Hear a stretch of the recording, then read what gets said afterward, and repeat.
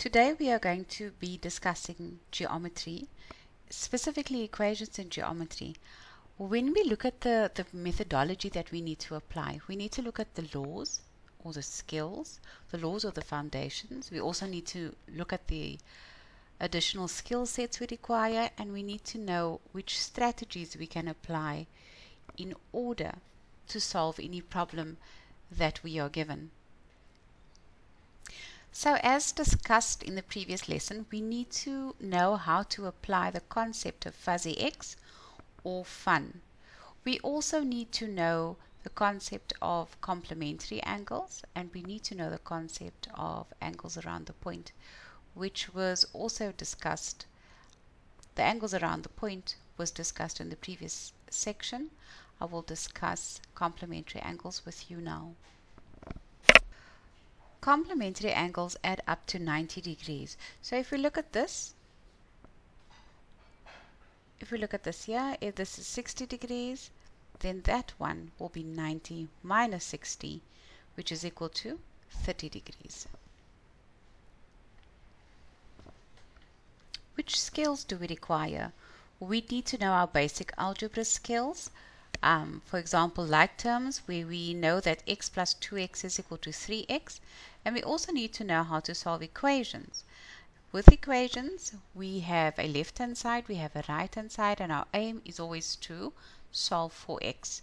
So you need to be able to do equations in this section of work.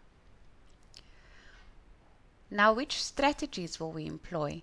The first thing that we always want you to do is remember that Whenever you have a statement, you need to make sure you have a corresponding reason. You'll get a mark for your statement. We always want to use the given information. So have a look at what they give you. If they say a particular angle is 70 degrees, see if you can't find any other angles also equal to 70 degrees. The third thing you need to do in geometry is always look for your fuzzy X letters in your sketch look for the corresponding, look for the co-interior alternate, vertically opposite, and angles on a straight line.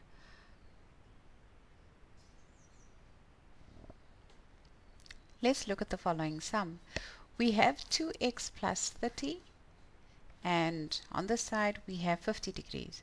Now what is this? This is which shape? So let's go back to your, what did we do? We did our foundations and our laws and we did our skills and we did strategies.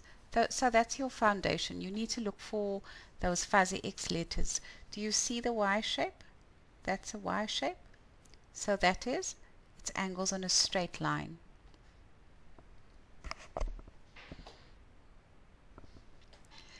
So we can go ahead and make the statement that 2x plus 30 plus 50 degrees is equal to 180 degrees. Why?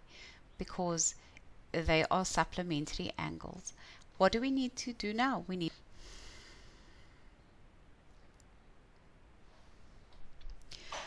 So 2x is equal to 180 degrees minus 80 degrees and 2x will be equal to 100. There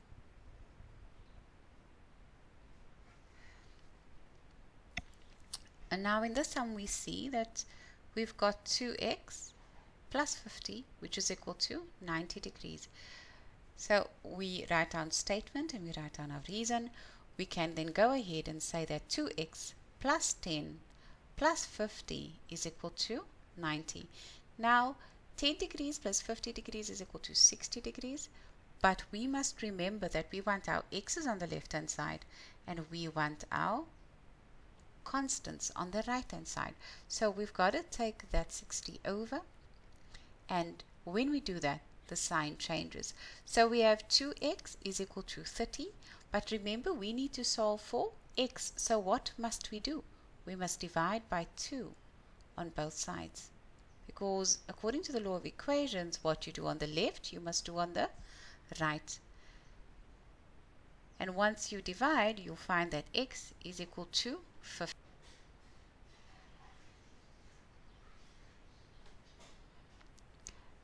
Now here you should have identified the X shape of your fuzzy X.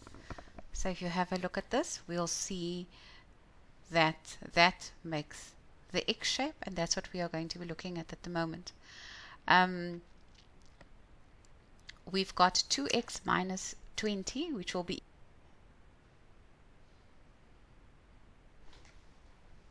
Now what's our reason for that? Our reason is that the angles are vertically opposite because with our X shape we always find that they are vertically opposite angles that are going to be equal. So 2x minus 20 is equal to 28 degrees. What do we need to do? We need to solve for x. What does that mean? It means that you want your x's on the left and you want your constants on the right.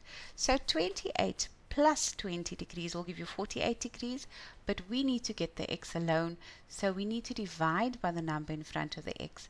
2x divided by 2 um, on the left and 48, 48 divided by 2 on the right and this gives us a value of 24 degrees and let's look at this.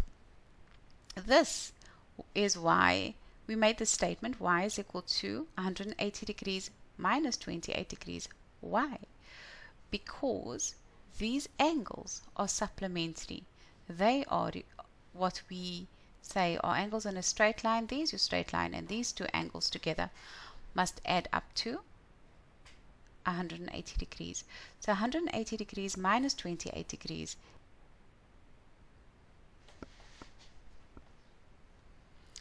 Let's look at our final sum for today. We see here we've got x and we've got 65. Now what do you need to look for? You need to look for your fuzzy x. You need to look for your letters. What letter do you see there? You see the U shape. So let's have a look at that and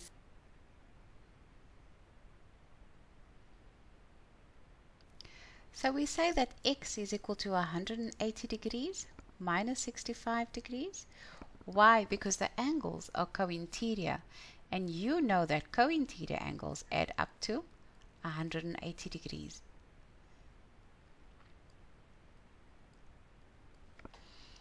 So 180 minus 65 is equal to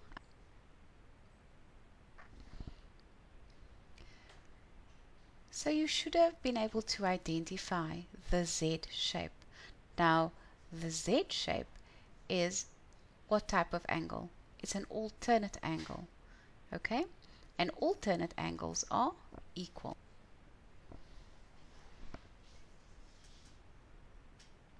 So we've got 3y plus 20 is equal to 44y minus 45 degrees. What's our reason? Because the angles are alternate.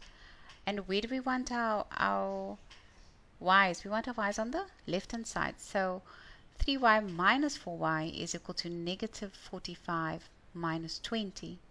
Now 3y minus 4y, that gives us negative y. And minus 45 minus 20 gives us minus 65. However, you need to remember that they haven't called us to solve for negative y. They've call, called us to solve for y. And in order for us to solve for y, we need to divide the entire expression by negative 1, giving us a value of positive 65.